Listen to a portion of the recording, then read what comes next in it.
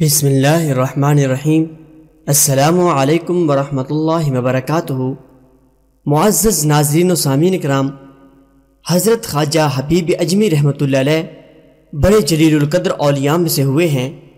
طریقت میں آپ رحمۃ اللہ علیہ حضرت خواجہ حسن بصری رحمۃ اللہ علیہ کے خلیفہ تھے. ابتدا میں بہت زیادہ دولت مند تھے، لیکن سود خور تھے، ہر روز تقاضا کرنے چلے جاتے، جب تک وصول نہ کر لیتے، اسے نہ چھوڑتے. ایک روز کسی مقروض کے گھر گئے، لیکن وہ گھر پر موجود نہ تھا۔ اس کی بیوی نے کہا کہ اس کے پاس قرض ادا کرنے کے لیے رقم موجود نہیں ہے۔ البتہ بکری ذبح کی تھی، اس کی گردن موجود ہے، جو ہم نے گھر پر پکانی ہے۔ لیکن آپ رحمۃ اللہ علیہ، اس عورت سے بکری کا گوشت زبردستی لے آئے اور گھر پہنچ کر بیوی سے کہا کہ یہ سود میں ملی ہے، اسے پکا لو۔ بیوی نے کہا کہ آٹا اور لکڑی بھی ختم ہے، اس کا بھی بندوبست کر دو۔ آپ رحمۃ اللہ علیہ دوسرے قرضداروں کے پاس گئے اور یہ چیزیں بھی سود میں لے آئے۔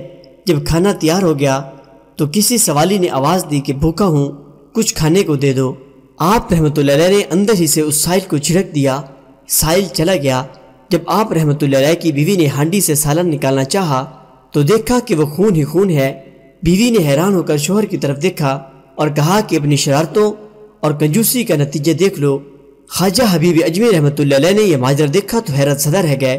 اس واقعے نے آپ کی زندگی میں انقلاب برپا کر دیا۔ اسی وقت صاحب کا بے راہ روی سے توبہ کی۔ ایک روز باہر نکلے، راستہ میں بچے کھیل رہے تھے۔ انہوں نے خواجہ صاحب کو دیکھ کر چلانا شروع کر دیا۔ آگے سے ہٹ جاؤ حبیب سود خور آ رہا ہے۔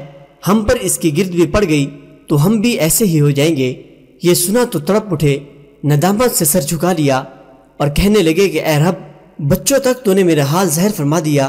خواجہ حسن بصری رحمۃ اللہ علیہ کی خدمت میں حاضر ہو کر توبہ کی، سب قرضداروں کا قرض معاف کر دیا، اپنا سارا مال و اسباب راہ خدا میں دے ڈالا۔ عبادت و ذکر الہی میں مصروف ہو گئے اور سائم الدہر اور قائم اللہر رہنے لگے۔ کچھ عرصہ بعد ایک دن پھر انہی لڑکوں کے پاس سے گزر ہوا۔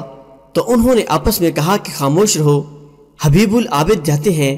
یہ سن کر آپ رحمۃ اللہ علیہ رونے لگے اور کہا کہ اے اللہ، یہ سب تیری ہی طرف سے ہے۔ جب اس طرح عبادت کرتے ایک مدت گزر گئی، تو ایک دن بیوی نے شکایت کی کہ ضرورت کیسے پوری کی جائے۔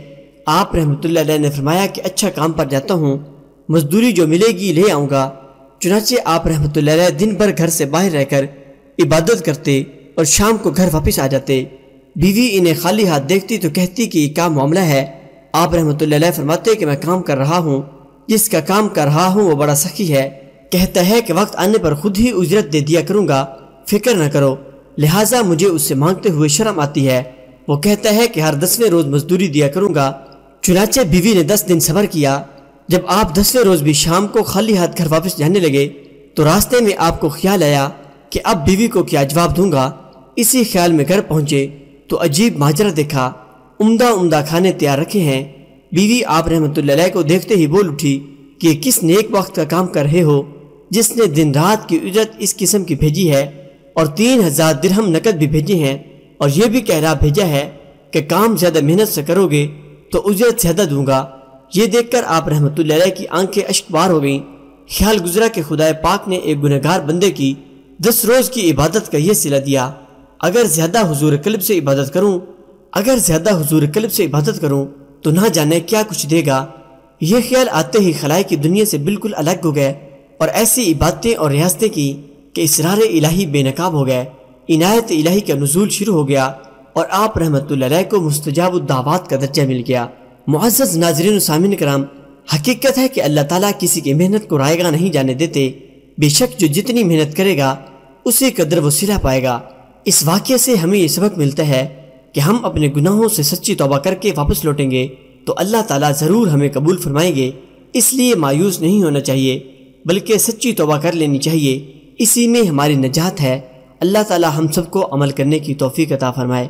آمین یا رب العالمین۔